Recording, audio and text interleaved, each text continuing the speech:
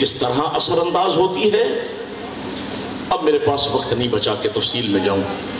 लेकिन एक ही जुमला कहूँगा, कायनात में चश्मे फलक ने ना ऐसा बाप देखा और ना चश्मे फलक ने ऐसी बेटी देखी। बाप खत्मी मरतबत, बेटी खातून जन्नत। गवाही पैगंबर की मौजूद है, इस किरदार पे पैगंबर की गवाही मौजूद है। फरमाते हैं कि जब मैं उम्मत का सताया हुआ तबलीग दीन कर कर के वापस आता था। और मैं आके अपनी शहजादी सैदा के पेशानी का मुताला करता था। सारे दिन की थकन मेरी दूर हो जाती थी और दीन की तबलीग का एक नया जज्बा मेरे अंदर वलवला पैदा हो जाता था।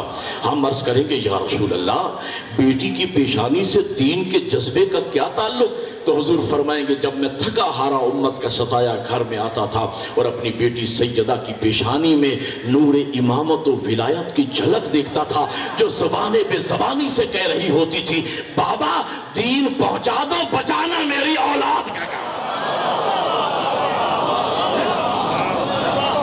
दीन पहुँचा दो, बचाना मेरी औलाद का काम है। बातें बहुत अहम थी जो आज रह गई। कल से यही से बात यह तारीखी मजलिस कल भी चलेगी। यहाँ से बात को कल आगे बढ़ाऊँगा। कि इस्लाम में औरत का किरदार क्या है और अल्लाह ने खानदान इसमत तहारत को यह किरदार किस तरह अता फरमाए हैं? कि उन्होंने अपने बच्चों की किस तरह तरबियत की। जनाब सैदा ने अपने शोहर की विलायत की हिफाजत किस तरह की और उसकी खातिर क्या क्या कुर्बानियाँ दी रसूल की बेटी ने। और ये किरदार कल आपके सामने मैं अर्ज़ करूँगा, यहीं से बात कल शुरू होगी। कल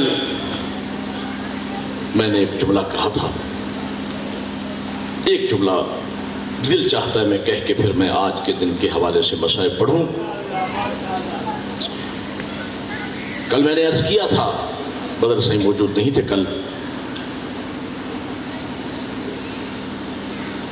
अली बतूल के दर्द अगर एक जुमले में जमा किए जाएँ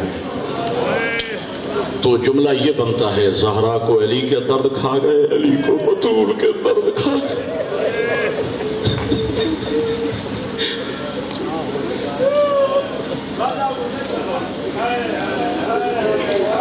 जहरा को अली के दर्द खा गए। अली की विलायत का बड़ा दुख था सैदा को कि मेरे वली शोहर की विलायत को दुनिया ने भुला दिया।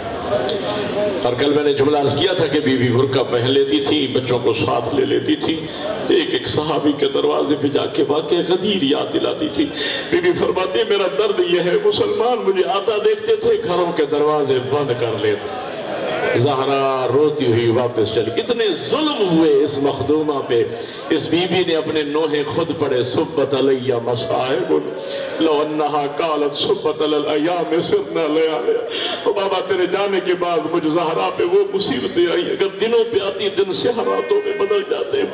अजादारो, एक जुमला मैंने कहना है, और मैं फिर मसाहब शुरू कर रहा हूँ। जुमला मुझे ये कहना है, कोई माँ जितनी, जिस माँ के छोटे छोटे बच्चे हों मेरी माए बहनें और बेटियाँ तशीफ फरमाए। जिन, जिस माँ के छोटे बच्चे बीबी की शहादत हुई अठारह साल की उम्र में। मैं सोचता हूँ इस कौम की अपनी किस्मत, हम अठारह साल के अकबर को रोए, या या अठारह साल की रसूल की बेटी का मातम करे। अठारह साल उम्र थी, सर के बाल सफ़ेद थे। सर के बाल सफ़ेद थे।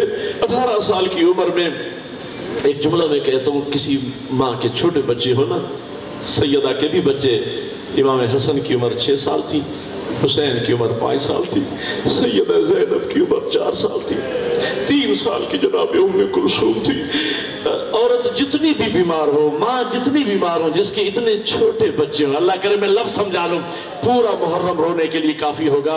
वो माए दुआ मांगती है, ओ मेरा अल्लाह, अगर मेरी मौत आ गई है तो इन बच्चों की खातिर मुझे उम्र को लंबा कर दे। इन गरीबों की खातिर मेरे मासूम बच्चों पर रहम करो मेरा मालिक, मेरी उम्र को लंबा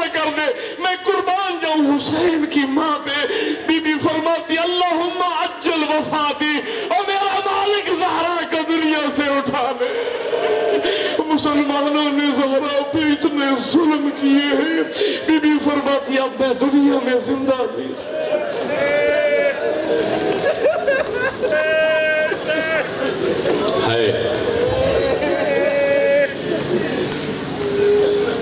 कहाँ से मैं मसाइब शुरू करूँ? मोमिनीन का इसरार होता है। तरतीब यही बनी हुई है कि दूसरी मुहर्रम को